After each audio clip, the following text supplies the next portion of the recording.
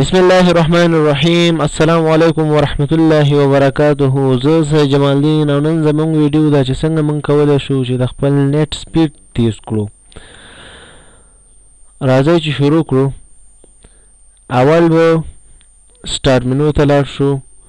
سټارټ بټن باندې چې کلیک کړو دلته به سرچ کې رن ورکړو آر یو ان رن رن رن را خلاص شو دې ځکه به جی پی ای ډی آی ټی ډاټ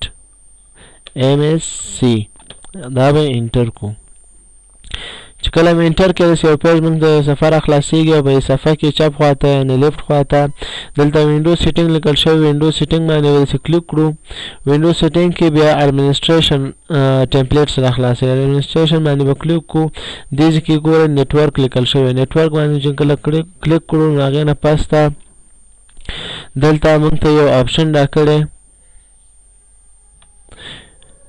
دا آپشن باندې به کلیک کړو ډبل کلیک هم چې کله کړو دې ځکه بیا لیمیټ ورکړی لیمیټ لیمیټ ورکړی په دې لیمیټ باندې به کلیک کړو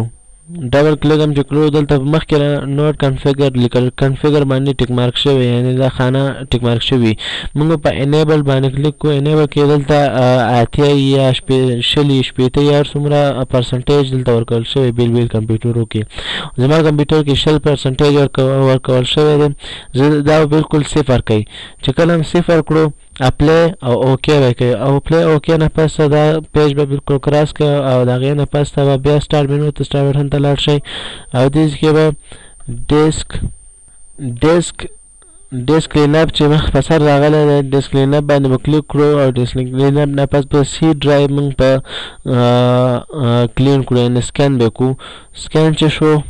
دا به لږ وخت نیسي او دلته موږ ته یو پیج را خلاص شو صفحه را خلاص شو او په دې باندې به دلته دا کوم فایلونه چې ټیک مارک شوي دا به ډیلیټ کو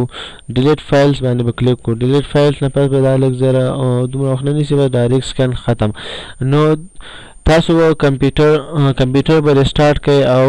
زمونږ د نیټ سپید به تیز شي او بیا به خپل د کمپیوټر بروسر را خلاص کو بروسر هم چې کله را خلاص کړو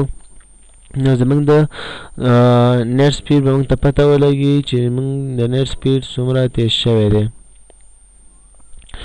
ډیره مننه ستاسو توجه نه که چیرې زمونږ ویډیو خوښه شوي وي نو زمونږ لایک ورکړل شوی لایک کلیک کړئ او شیر هم کړئ او زمونږ چینل سبسکرایب کړئ چې د ویډیو وړاندې په سور رنګ سره سبسکرایب لیکل شوی وي سبسکرایب هم کړئ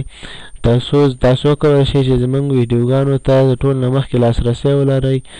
ډیره مننه ستاسو توجه نه د الله په امان ښه وخت ولرئ